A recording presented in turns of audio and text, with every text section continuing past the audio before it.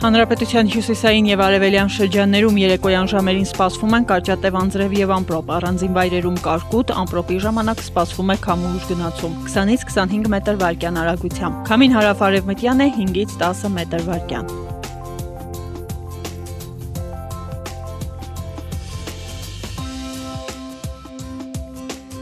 Շիրակում գիշերը կդիտվի 8, ցերեկը 22 աստիճան տաքություն, Երևանում գիշերը 18, ցերեկը 32 աստիճան տաքություն։